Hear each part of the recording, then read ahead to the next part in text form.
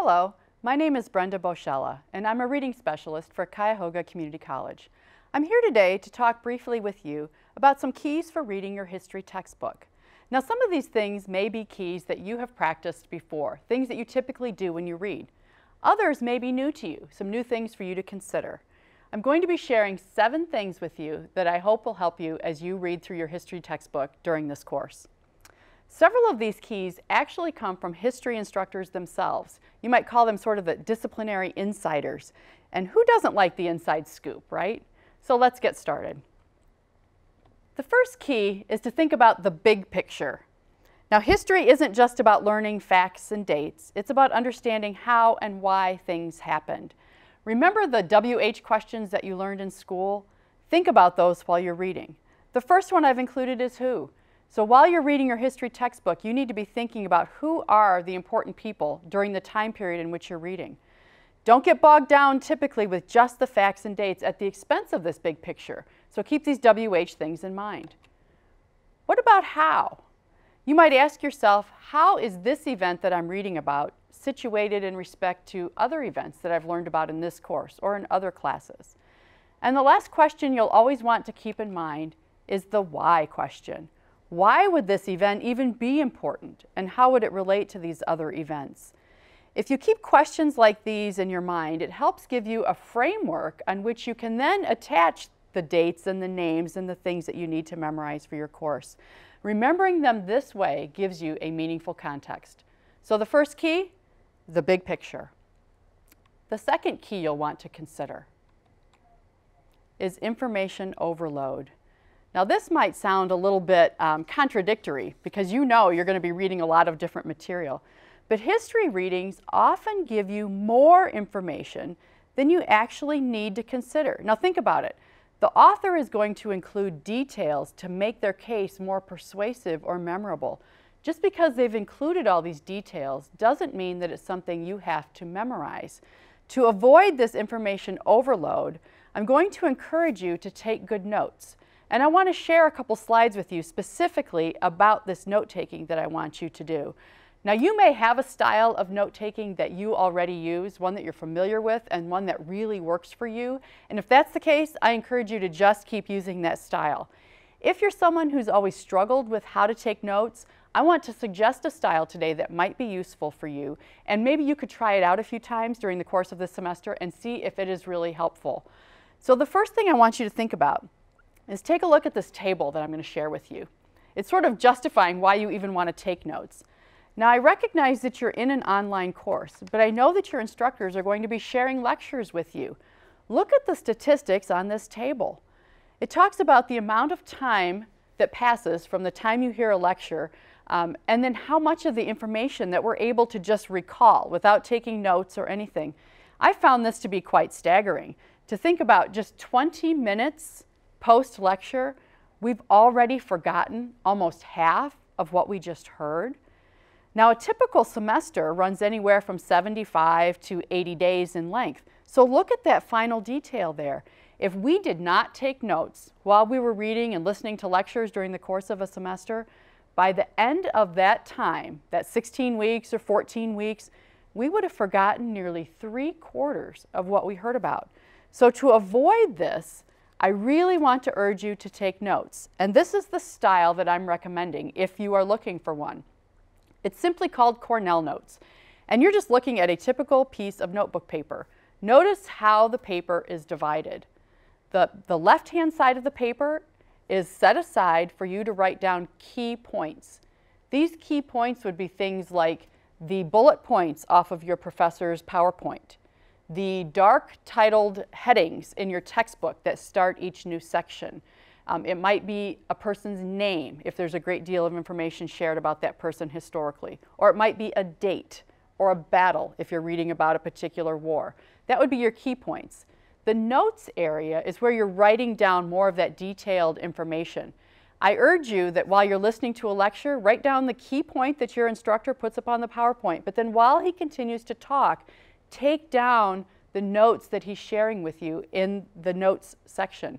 Leave spaces between your lines as you're writing so that if you go back to reread your textbook and you find out a little bit more information about that, you can fill it in.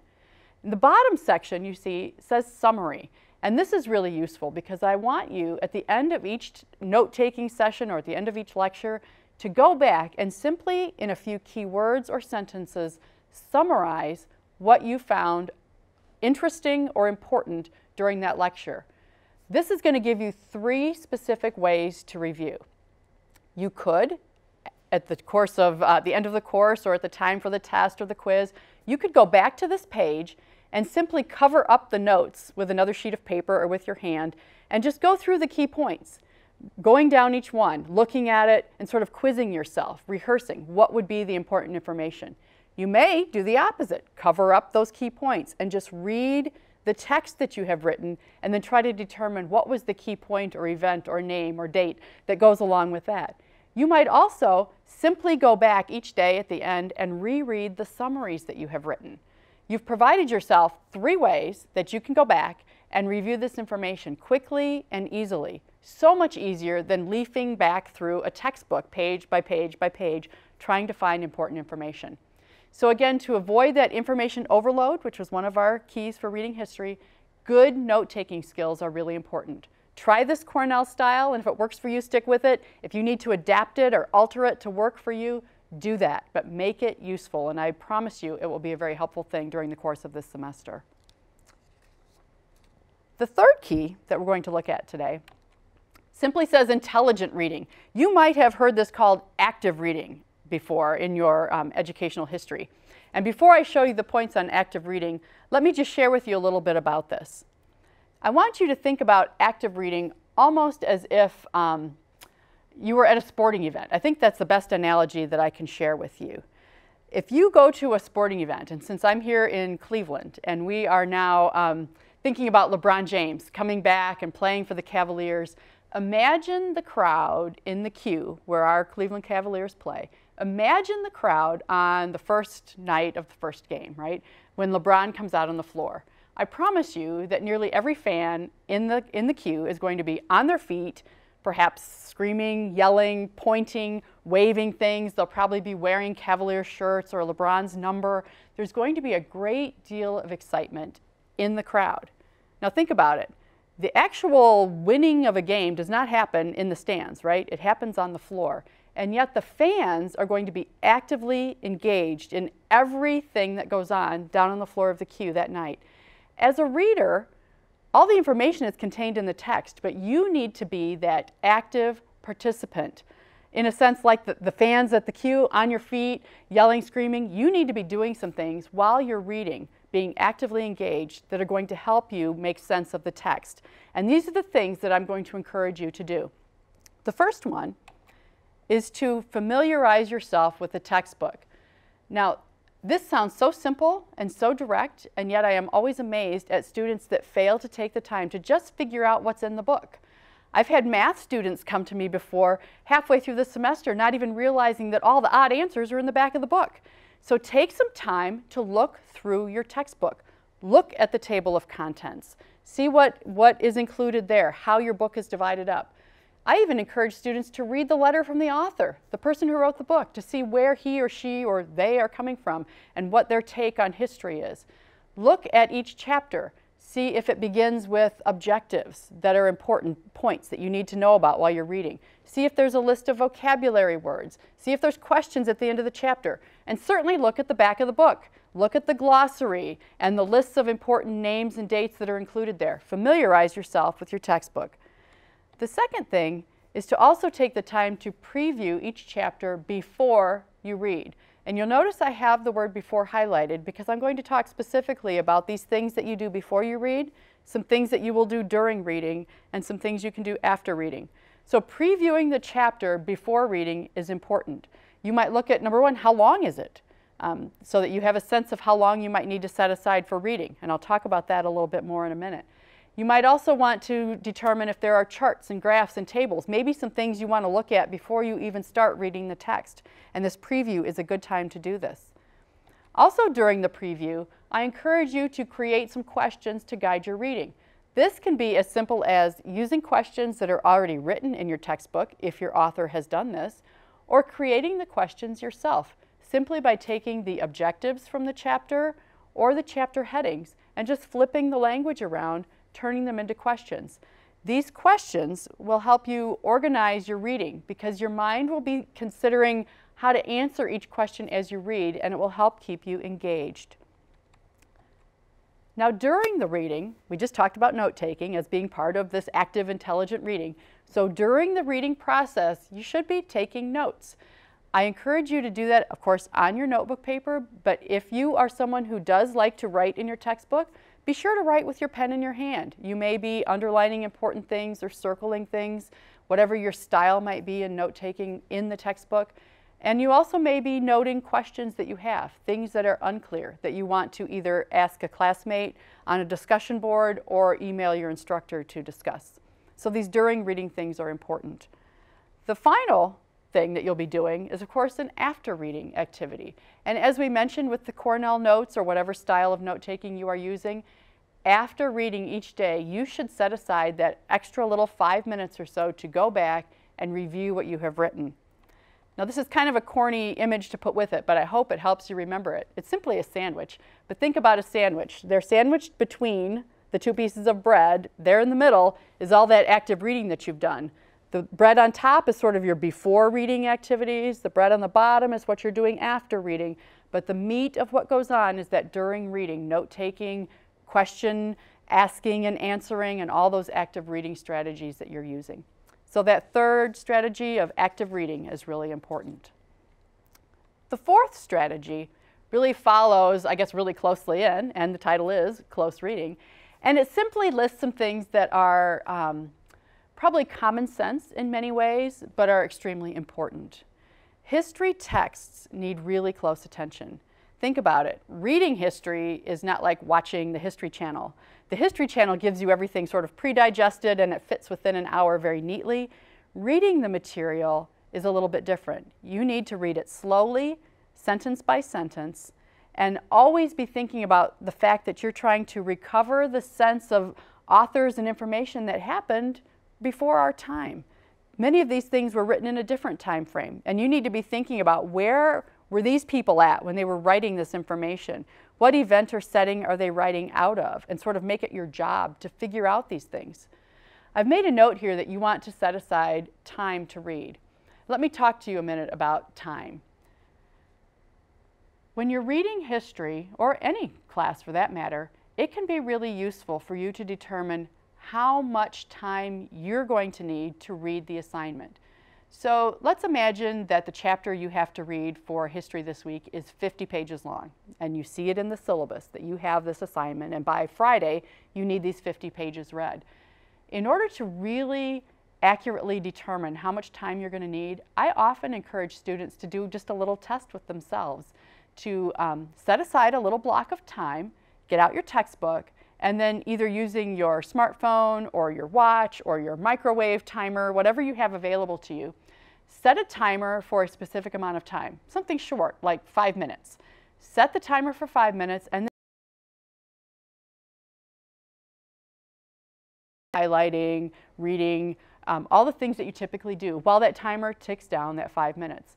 When the timer goes off and the set amount of time is over, for however much time you set that for, five minutes or whatever, look at how much information you've read. So let's just say in that five minutes you read five pages, right?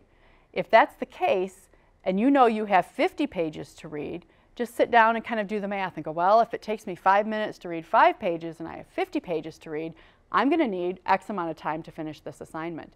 Um, number one, it's useful because it helps you um, from underestimating, and that's typically what we do. We kind of leave, you know, a short amount of time to read, and we're rushed, and we're we're leaving for an event, or we're going to go pick up the kids at school, and we have, you know, 15 minutes, and we think we're going to sit down and blow through a chapter, when really we need an hour. So if you can do this little test with yourself early in the semester, so that you know how much time to adequately and accurately set aside for yourself, you're going to find that you're not going to feel that pinch at the end of each week or right before you have to respond to a discussion board conversation or take an online quiz. So be sure to take that time to figure out the time that you're going to need to do this. So that's a really good tip for you. The other things on this slide are pretty common sense. You know, read with a dictionary nearby because you probably will run across words that are unfamiliar or are used in an unfamiliar way. So be sure to look them up. I typically like to write the definition down in the margin of my book because just writing it helps me remember it. Of course, read with your notebook and your pen right there so that you can highlight and, and take notes as you go. And be sure that you have a willingness to reread material. Um, oftentimes we like to think if we can just breeze through it once, we're good. Don't be afraid to go back and reread. And I'm going to touch on this again in a second. And the other important thing is sometimes it's good to try a, a little bit of a different strategy. And the one I typically use for myself is reading difficult portions aloud. If you get to a paragraph or a section that you find is just really tricky and it's tripping you up, read it out loud. And if you find that you're growing sleepy, not only should you read out loud, but maybe stand up with the book and walk as you read for a short time. And these close reading tips will help you as you read through your history textbook. The fifth key is kind of interesting, and it kind of goes along with that rereading that I just mentioned. And it is this idea of selective reading. Um, and this is really important, I think, because oftentimes we are hesitant to reread entire chapters because, number one, we don't have the time to reread entire chapters. But selectively rereading portions can be a really good strategy to help you remember information and to fully understand it. It's also a really good real world skill because throughout your life you're going to find things that come your way that you have to read that are complicated. Things like um, cell phone uh, contracts and sometimes information that comes with credit cards is extremely difficult to understand. And rereading portions of it can help with our understanding. So this key, although it is brief, the selective reading, key number five is important. So when you go back to reread, remember reread those portions that you found to be extremely difficult. The sixth key is one that a history instructor actually shared um, from experience in classrooms. And he made the comment that history is full of surprises and that as readers, we need to expect those surprises. Sometimes as students in history, um, we are confronted with information that contradicts things that we perhaps have believed prior to this time or things that we have read that contradict with what we're reading in the history textbook. Interestingly enough, history instructors often find that when students find contradictory information, they sort of push it away and ignore that and read on trying to find things that sort of match with what they know. Understand that history is not going to be just this smooth, easy narrative it's going to be a bit complicated. And when you find these contradictions, instead of trying to push them away, bring them to the surface. Pay closer attention to them and begin to, as you're reading and reading multiple texts and other articles that your instructors give you, begin to try to make sense of why there may be differing points of view or differing opinions about these historical events. You also have to think about the perspectives that these things were written from. And this is where we get into our final seventh key to reading history. And it's all about interpretation. Um, you'll notice I just used the image of the cloud simply because as kids we used to you know, lay outside and look up at the sky and, and imagine what shapes we might be seeing. And what was interesting is you could be there with two or three friends looking at the same cloud and we would all see something different. History is sometimes this way. History is interpretive. The accounts that you will be reading not only in your history book, but in some of the historical documents that you will be reading, are things that are open to interpretation because they come from multiple perspectives. Much of what you read is the, is the result of these intelligent writers trying to make sense of things that happened in the past. Here's what's really interesting. Some experts in the field, again, these historians that sort of have given some of these inside scoops, they share that there's three unique things that historians actually consider while they're reading history. And the three things are source, and that means, you know, where did this information come from?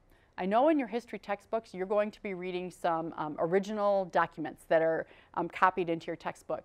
As you're reading those original documents, you really need to be thinking, who was this person that wrote this? What was the setting that they were in? You know, were they writing this from jail? Were they writing this from um, a battlefield? Were they writing this as a casual observer off on the side? who were they? Where were they? Think about the source of the information that you're reading, and that will help you understand it. Also, contextualize it. Now, that's a big word, but it simply means putting something in the place where it was written. Again, if you're writing a letter from jail, it's going to look very different than a letter you're writing um, from your couch in front of the fireplace, right? So thinking about the context from this information is going to be really important. And the last one was a huge word. It was corroborate, but it literally means how things work together. So when you're reading historical texts, figure out how the information fits together, even when it seems to conflict, because you may be thinking, okay, based on the source or the author or the setting, I can see how these differing points of view are working together to give me a more complete picture of what history is all about. Students, when they're reading these things, often just are reading for, you know, we want those facts and dates, right? What's going to be on the quiz? But we need to be thinking of this bigger picture. Um, being aware of the author and the setting and all these things are really important. And as you look at these things, you might find um, that you develop some questions about history. And that's where we get to um, this idea of what I want you to take away from this today. These are simple.